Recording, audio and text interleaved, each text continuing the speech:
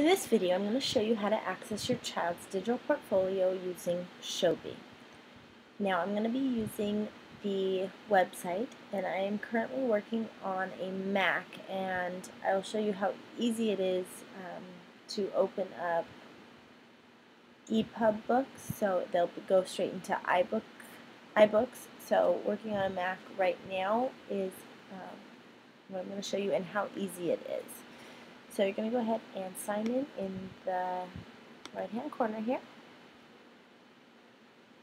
And your child should know their username and password. And so when you log in here, it's going to show up with your class and the assignments that are there. And you see when there's this little one next to it, there's uh, one thing that's there at least one thing that's there. So we're going to click on the solar system. And you can see here we have two files. And if we click on the library photo, it'll open up in a new tab. And it'll be the full photo.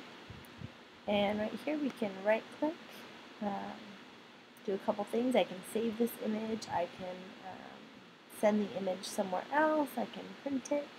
So it's kind of a fun thing to way to save that one. And then here's the EPUB book. So this is where, where it's going to uh, work nicely with iBooks. If I click on EPUB book, I'm going to just save it somewhere. Let's go into my documents and just save it as solar system. I'm going to save it there.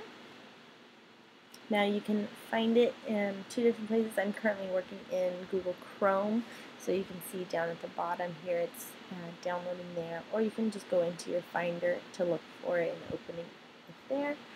So I'm going to open that up, and you'll see it automatically pops into my iBooks, making it super easy to use. Uh, in a later video, I'll show you how to use a PC to view your EPUB and that is